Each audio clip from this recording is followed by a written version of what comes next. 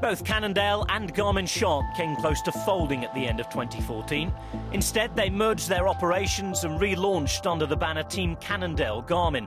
InCycle caught up with team CEO Jonathan Vaughters to get his take on the state of pro cycling and what it'll take to make the sport sustainable. The history of the sport is incredibly important, and without that history, without that sort of granular, grainy, um, black and white, this is the way it used to be history, cycling doesn't separate itself from other sports. But that being said, I think we need for the first time in the sport to really look at how the professional level is constructed. Is this drawing in new viewers? Is this helping the sport grow? Is this, is it making it you know attractive worldwide, or are we just surviving?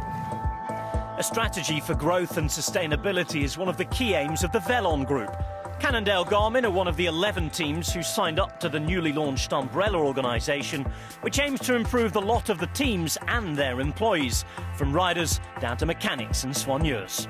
If folks want to uh, truly move into an environment where you know teams are not here one year gone the next, if people want a sport where they're not constantly hearing about um, you know the pressures of doping you know that the employees inside of cycling are not feeling that they're you know employed on quicksand and that they're just waiting for the other shoe to drop as to whether the team's going to exist or it's not. And you know everyone's sort of looking for the next place to jump to. If we want that sustainability there are some difficult choices to be made for Vaughters, the key is to look to other sports with successful business models, such as American football. In the United States and the NFL, the teams that are in the NFL are franchises of the NFL. The company, the business is the NFL. Each team is just a franchise. They're in business together. Their competitors on a business level are not each other. I mean, of course, on the field, they're competitors, but on a business level, their competitors are. Uh, different forms of entertainment. There are shows on Broadway. There are tennis, uh, golf, baseball, those are the competitors. And cycling's got to start thinking that way is, okay, we're one business. My competitor should not be Sky or BMC. It should be on the road, not in, not from a business standpoint. My competitor in the business standpoint should not be ASO. Right now it is.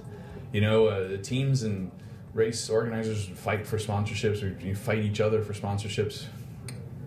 That's ridiculous. Exploring new ways of broadcasting races is integral to Vaughters' thinking, as well as that of the Velon Group, with a potential for telemetry on screen showing viewers the rider's power data, speed, and much more. Allowing telemetry to be seen, broadcasting in car radio, all that stuff I think is part of that creating a competitive form of entertainment um, onboard cameras. That's creating a more competitive form of entertainment on the worldwide stage. But none of this matters if the cycling season is disjointed and confusing to newcomers.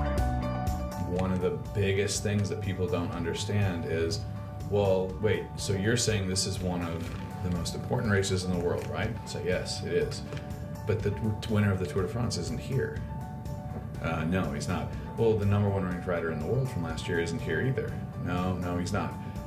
Well, then how is this an important race? And that's a really good question you know the top riders have to go head to head week in week out a little bit more so that your new audiences understand well it's this team versus that team it's this person versus that person. This is a classic entertainment theory is that you build it to a crescendo and that uh, you know each week sort of makes the next week more interesting.